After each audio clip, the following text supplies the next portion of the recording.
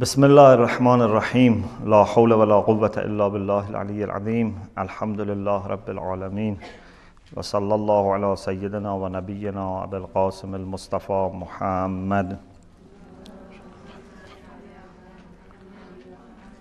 وعلى آله الطيبين الطاهرين لا سيما بقية الله في الأرضين أجل الله تعالى فرجه الشريف وجعلنا من أعوانه وأنصاره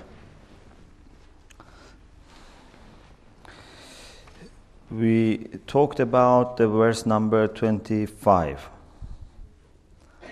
And then we just started the verse number 26. أعوذ بالله من الشيطان الرجيم لله ما في السماوات والأرض إن الله هو الغني الحميد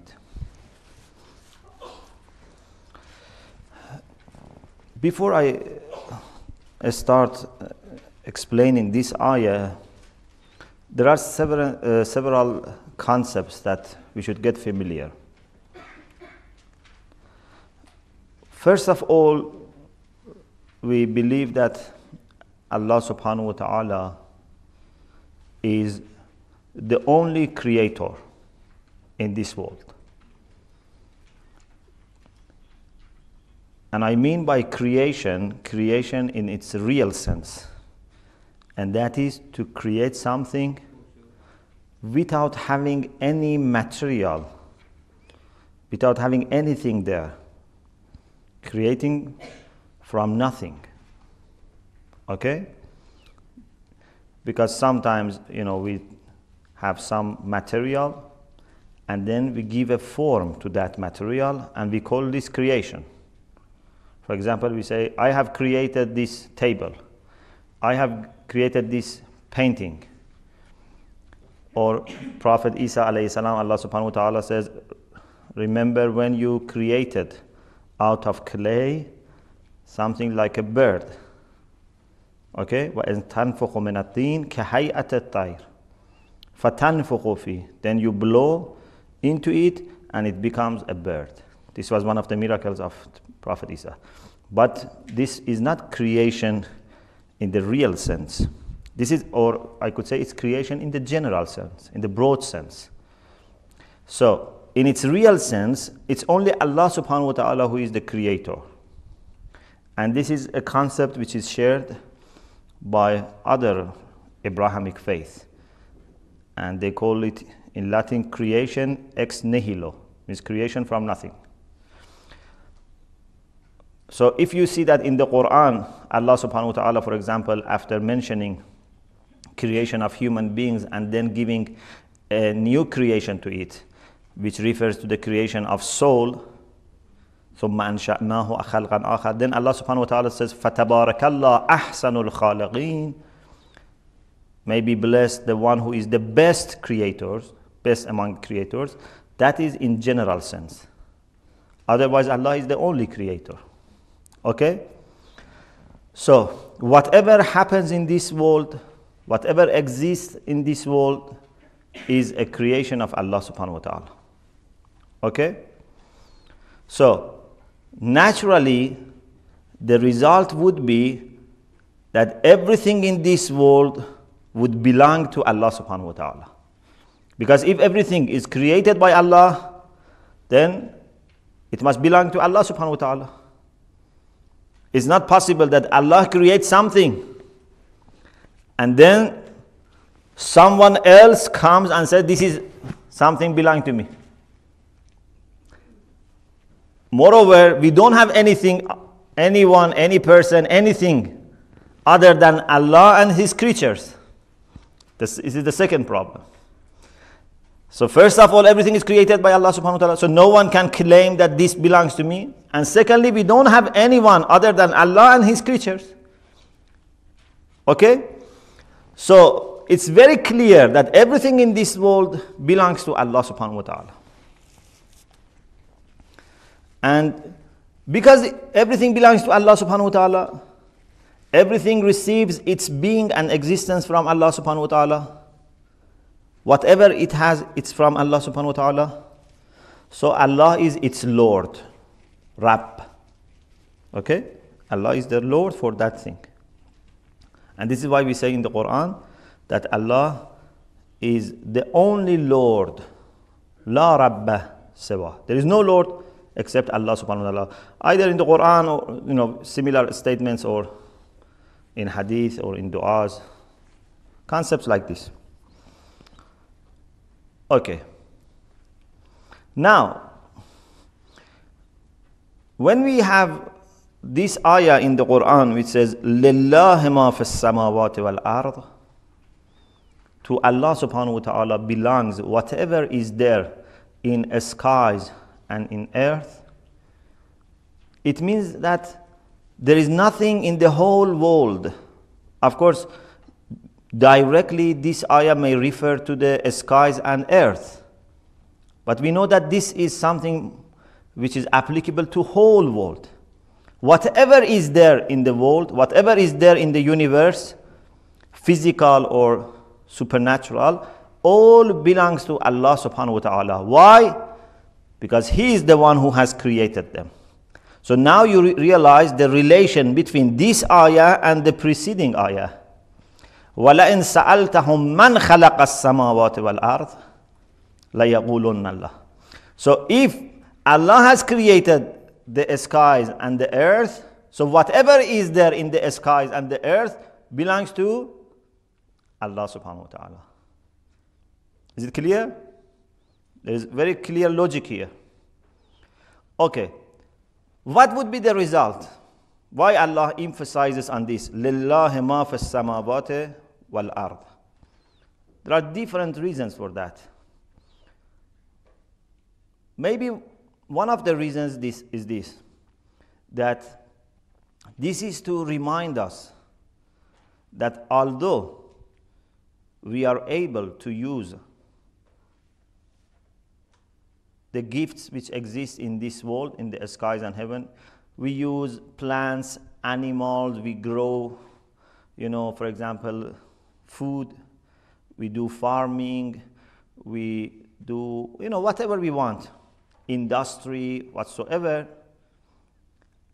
It's, in a real sense, something that, that we are doing in the property of someone else. You know, we are like a guest who is in the house of someone or in the farm of someone as a guest. But the landlord, the owner of that farm or that you know house or whatsoever, is so kind that says, although you are a guest, but you can do you know whatever you want for your benefit. Okay? It's not something which is owned by us. This is the difference. It may look very simple, but this is one of the big differences between Islamic view and the Western view. Of course, I mean non religious people in the West. The mentality of the West or Western people is that everything in this world belongs to us, as if we own them and we can do whatever we want with them. If we want to damage the nature, then damage the environment, no problem. Yes, if in the end it harms us, then there may be some worries. Although still, you know, even they may not pay attention to this. As you know, what happens, you know, in these treaties about environment. So some of big countries because it's not to the benefit, their economical benefit, they don't sign these treaties to protect, you know, the environment or, you know, the air or whatsoever. But even, you know, if pay attention, the reason is that because they say it would be harmful in the end for us or for forthcoming generations. This is the concept. This everything belongs to us. Okay? Even if they can somehow get resources from the moon or Mars, no problem. They say this belongs to us. But our concept is different. We don't say these belong to us. We say these are created by Allah subhanahu wa ta'ala, but we can get benefit from them. Allah has made them subservient. Allah has made them in the way that we can get benefit from them. Okay? But they belong to Allah subhanahu wa ta'ala. So the result is that I, am, I can only treat them in the way that Allah is pleased with because He is the real owner.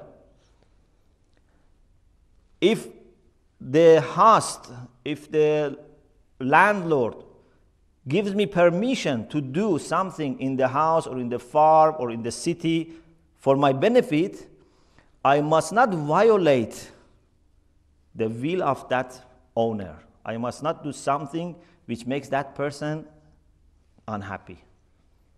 Okay? This is very important. Even my own belongings are not really my belongings. For example, my life. Is it really something that I own? Do you own your life? If you own it, so no one should be able to take it away from you. If you own something, if something really belongs to you, so no one must be able to take it away from you. And no one must be able to give it to you.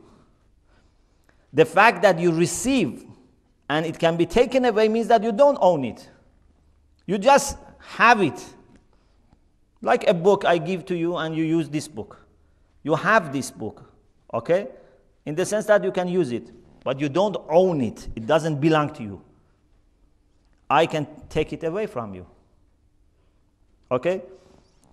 So we believe that Allah is the giver of the life, and Allah is the one who takes away the life from us. Okay? So, in Islamic view, you cannot commit suicide. Suicide is haram.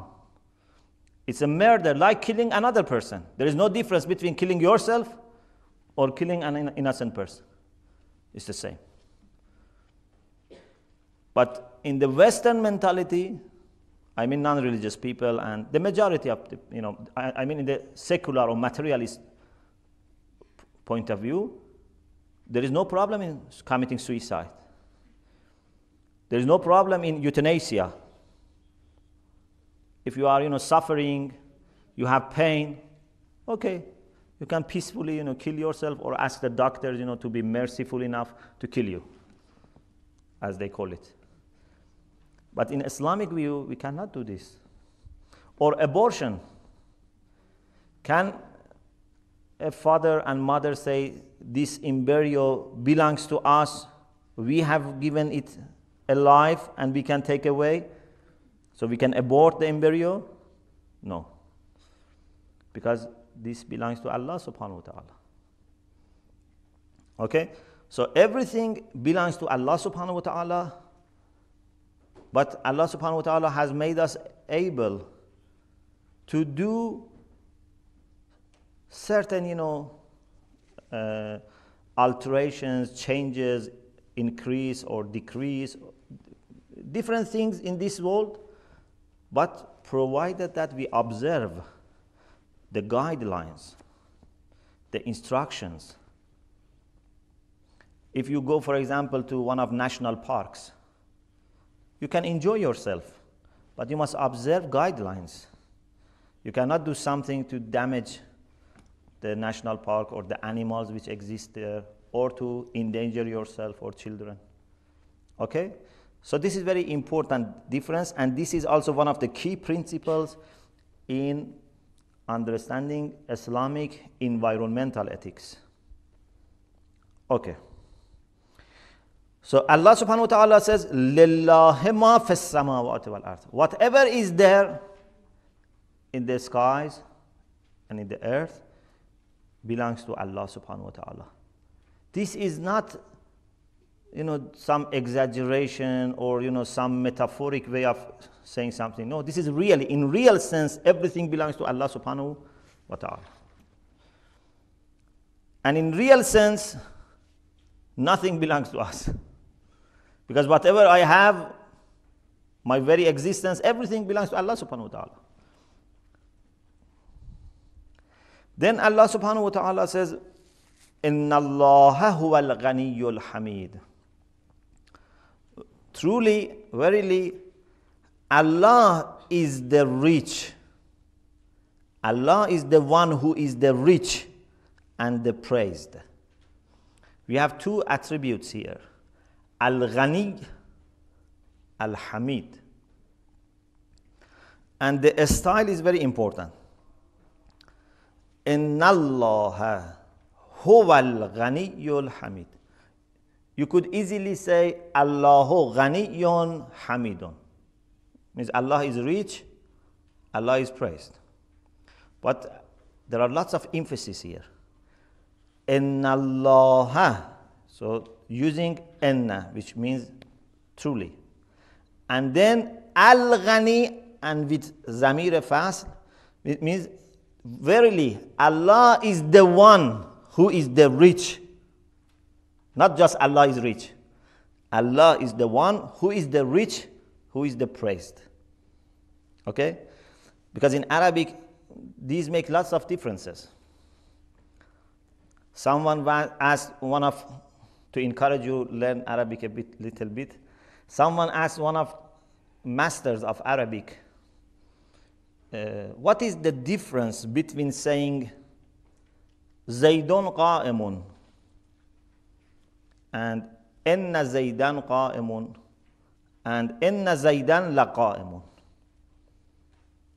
basically all these three sentences say that zayd is standing okay zayd is name of a person but what is the difference between saying zaydun qa'imun inna zaydan qa'imun and inna zaydan laqa'imun Do you know what is the difference? Yes.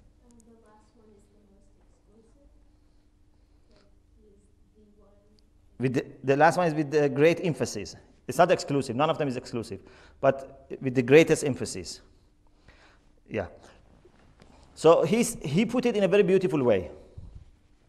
He said, when you speak with someone who has no idea whether Zaid is standing or not, so his mind is clear, empty. Okay? So you say Zaydun qa'imun, which means that Zayd is standing his mind is empty, so there is no need to emphasize. Okay? When do you use emphasis? When there is a need for that, when someone has doubt. So if someone has clear mind, empty mind, so he says Zaydun qa'im. If someone has doubt whether Zayd is standing or not, so it means he is already familiar with this question, he has this in mind, but he didn't have the answer. So here you put a little bit emphasis. You say, Enna Zaydan qa'imun. Okay? And if that person denies that Zayd is standing, so it's more than doubt. He denies. So you say, Enna Zaydan laqa'imun. See how beautiful and accurate is Arabic. Okay? But you don't find many of these points in translations, unfortunately. You know, none of these translations can fully convey the message of the Quran. Okay. Here we have إن الله هو الغني الحميد and because here we have Zamir al Fast and the, uh, also attributes Al Ghani and Al Hamid are with Alif and Lam, shows also exclusiveness. So there's also emphasis and exclusiveness. So it's very a strong way of expression. Truly, Allah is the only one who is the rich and the praised. Why Allah puts so much emphasis on this? Maybe because some people deny that. Not maybe in theory, but in practice if I really believe that Allah is the rich, so I should not have any fear when I am with Allah. When Allah has promised to support the people who support His religion, so I shouldn't feel any fear. And Allah Allah defends those who believe. In tansurullah yansurkum. If you help Allah subhanahu wa ta'ala, Allah will help you and assist you. So if I believe that Allah is the rich, He has everything in His hand. So I should have no fear. Many of the people, because of temptations of the Satan, have fear of poverty. This is what Quran says. Ash-shaytan ya'idukumul. Satan always, you know, is here in just putting in our ears that you will become poor. When you grow up, when you become old, when you, your children, you know, left, leave you, you become poor. When the economic, you know, situation changes, you will become poor. Always in different ways tries to convince us that there is a real danger of becoming poor. But a mu'min has no fear. A mu'min does his best or her best and then leaves everything to Allah subhanahu wa ta'ala. There is no fear. So, some people in theory deny that Allah is the rich. Some people in practice show that they not fully grasp and fully accept that Allah is the rich. So this is why there is this emphasis. In Allah huwa al-ghani. And I don't know if you are familiar with uh, the concept of poverty. Uh, sometimes uh, in London and also in Dar es Salaam, I talked about this spiritual poverty. And this is very re- related to this concept of richness. I believe that one of the very important principles of Islamic spirituality is poverty. And then to explain that, I usually mention uh, four different meanings of poverty. But the one which is now, you know, relevant to us is a spiritual poverty. So there are three other meanings. And I mean by a spiritual poverty to feel your entire dependence on Allah subhanahu wa ta'ala. To feel that you are nothing before Allah subhanahu wa ta'ala. To get rid of all selfishness, self interest, and coming out of your own shelters and barriers, whatever makes you separate from other creations of Allah subhanahu wa ta'ala. And by doing so, you will become so strong and so powerful that everything will become under your control. As long as I say, me and you, my interest and your interest, I am limited. But if I get rid of my selfishness, then your interest will be my interest. So whatever you do for yourself, you are doing for me as well. Whatever everyone is doing for himself or herself is doing for me as well. So you go so high in the creation that nothing will make you deprived or will make you, you know, for example, poor or will make you unhappy or whatsoever. It's very uh, important concept. Unfortunately, we are so much focused our own on our own, you know, limited being and limited existence, limited, you know, interest, and our minds are so, you know, closed that only we think about the things that directly and immediately relate to us. And sometimes, you know, we feel also jealous, you know, about other people whatsoever. Or I say, for example, this is my Islamic center, that is your Islamic center. I must do something, you know, to bring you down. Or I must at least do something to, you know, promote our center so that you go down. If I don't, you know, bring you down, at least by making ourselves better, we want to make you second. This is my marja, this is your marja. Different, different ways of you know, competition and rivalries that you find among religious people. I'm not talking about you know, bad people who kill each other or, you know, for example, do corruption, you know, to destroy their competitors.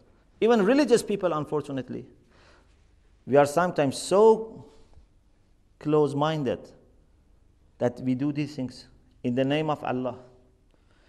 I think, for example, by promoting, for example, my marja and bringing your marja down, I am doing some services. This is nonsense.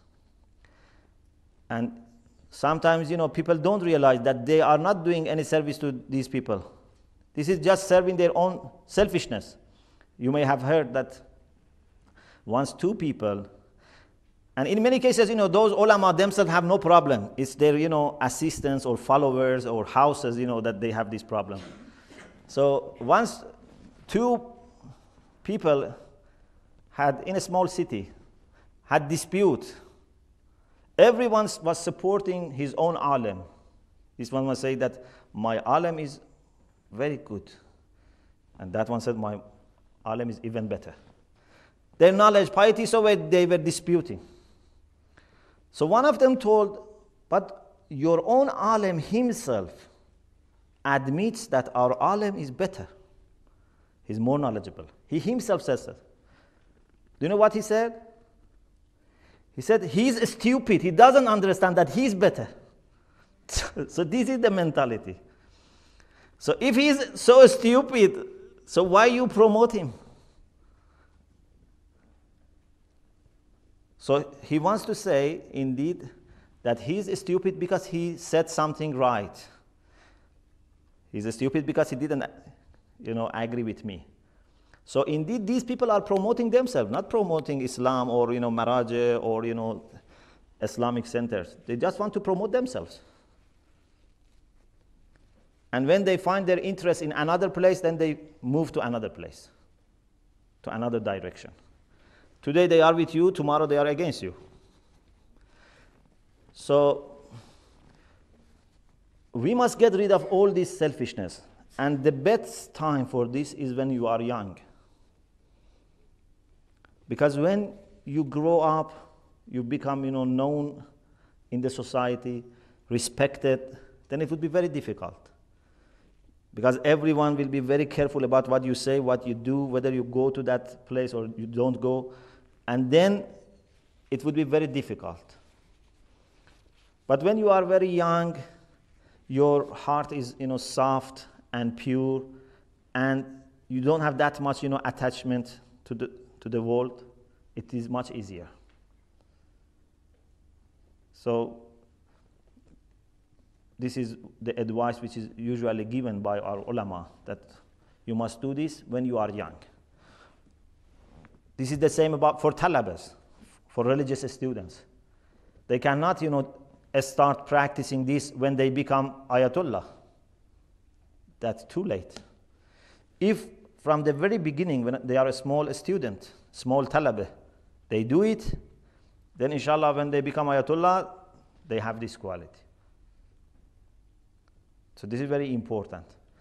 There is a sentence statement from Shahid Quddusi, Ayatollah Quddusi, who is the one who, for the first time with the support of Shahid Beheshti and others, established schools for boys and girls with full program, full curriculum, which later, you know, uh, with other schools became Jama'at al-Zahra for girls and for boys became Madrasa Shahidin. So, he, in one of his uh, you know, sermons about akhlaq, preaching, he said that before you talaba, before you establish yourself, become, before you become famous, before people come to know you, you must look after your hearts. If you don't look after your heart at this stage, then later you will never be able to do that. So it's very important that when we are young, you know, we take this opportunity to look after ourselves and to promote this concept of poverty that I am nothing. Everything belongs to Allah subhanahu wa ta'ala and I am His servant. You see, every time we pray, we say our prayer, we focus on this that the Prophet Muhammad sallallahu alaihi wasallam was his servant and his messenger. Why? Have you ever thought about this? Why we say Ashhadu anna Muhammadan abduhu wa rasuluh? Sometimes once in two rak'ah prayers and in the rest two times. Why? Can anyone explain? Yes.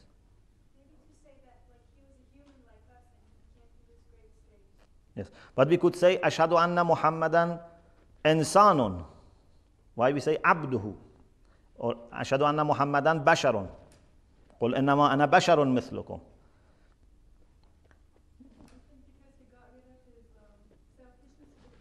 Yeah. Yeah. Yeah. So I think, yeah, you are both correct.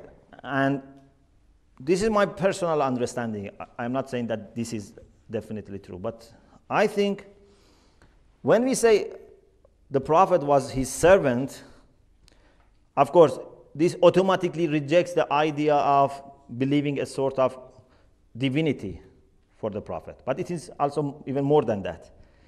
It means that the Prophet was first a servant of Allah and then he was chosen as a messenger. So he achieved servitude and he was given the position of being a messenger. In other words, to be able to be a messenger of Allah, you must be first a servant of Allah. Servant in real sense. Of course, all human beings are servants of Allah.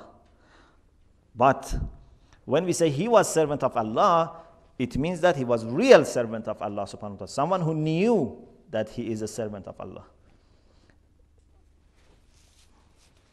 Because many people think that they are free. They are not servant. They feel that they are free. So it is very important that the Prophet Muhammad sallallahu alaihi wasallam was so humble, was so humble that never anyone. Have you ever noticed this point? But don't get me wrong. You know, when I emphasize on the humbleness of the Prophet, don't take it as negation of humbleness of you know other people that I am going to mention. But the Prophet was so humble that no one never thought that he is a Lord. He is God. No, no one ever had the chance to exaggerate. About Jesus, this happened. About Imams, also, this happened. Yeah? About Imams. Some people exaggerated, you know, for example, about Imam Ali or about other Imams. I am not saying that these were not humble, you know, don't take me wrong. But I am saying that the Prophet was the archetype of humbleness. And the second sign for this is that you very rarely find miracles happening next to the grave of the Prophet. There are different reasons for that. One is this, and the other is that because there are several other graves also there, so people, you know, may make, you know, stories of it.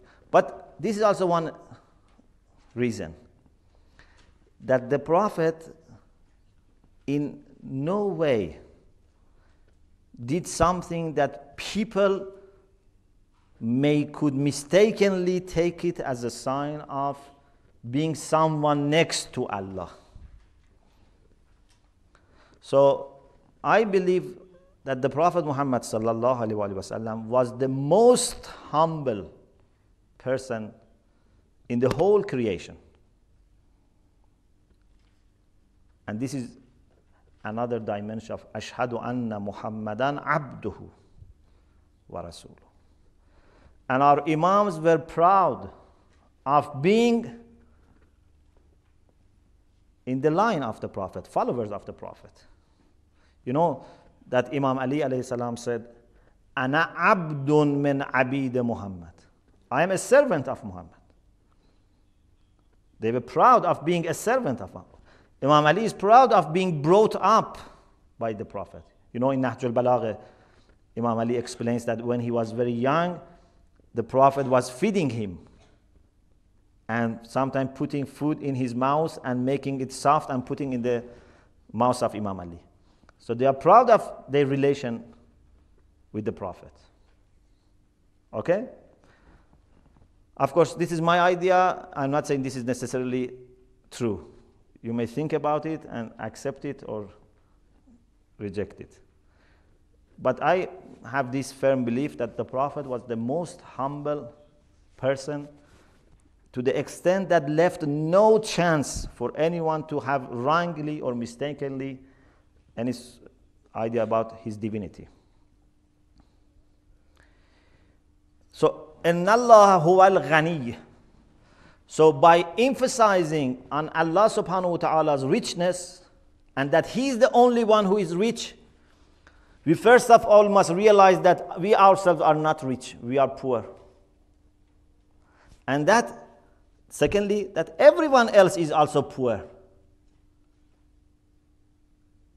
Ya ayyuhan nas antumul fuqara'u ila Allah Wallahu huwal hamid. Very beautiful ayah. O oh people, you are all poor and in need of Allah subhanahu wa ta'ala. You all need Allah subhanahu wa ta'ala. And Allah is the only one who is the rich and the praised. And tumul fuqara'u ilallah. But many people don't realize this poverty. And Imam Hussein alayhi salam in Dua Arafah has a very important statement. Think about it, and tomorrow, inshallah, you will let me know what was your idea about this hadith, this dua. This is my last point here. Allahumma inni atawassalu ilayka بفقر وكيف أتوصل إليك بما هو محال أن يصل إليك This is in Dua Arafah. You can find it in Mafatih or write it now. It means, my Lord, I appeal to you, atawassalu ilayk. You know the meaning of tawassul. It means to find some means to get closer or to ask for something. I appeal to you with my poverty. Atawassalu ilayka bifagri. وكيف أتوسل إليك and how can I appeal to you with something will never reach you Can poverty reach Allah? No. Poverty never reaches Allah because Allah is the rich. So, your, so the things that you are using for tawassul must be able to reach Allah, but this doesn't reach. So think about it, and inshallah, tomorrow or the next teaching day, inshallah, we will uh, review. Pardon? Dua Arafah. This is Dua Arafah of Imam Hussein alayhi salam.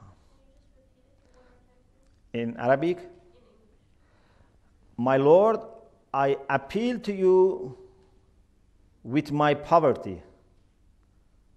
And how is it possible to appeal to you with something which is impossible to reach you?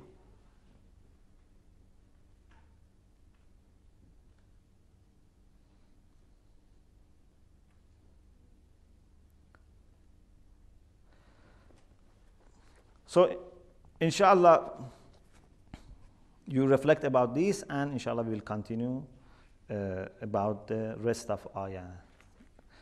وآخر دعوانا أن الحمد لله رب العالمين